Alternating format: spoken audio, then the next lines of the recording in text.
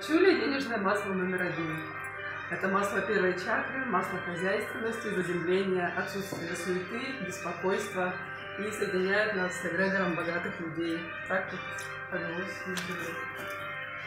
Богатые люди пахнут почули. Богатые люди пахнут пачули. Да, соединяемся с потоком финансов. Ну, богатство же не только финансы. Да, Это ощущение всем, жизни. э, В здоровье, в финансах, в отношениях. Да, состояние. Изобилие. Это состояние изобилия. М. Да, Да.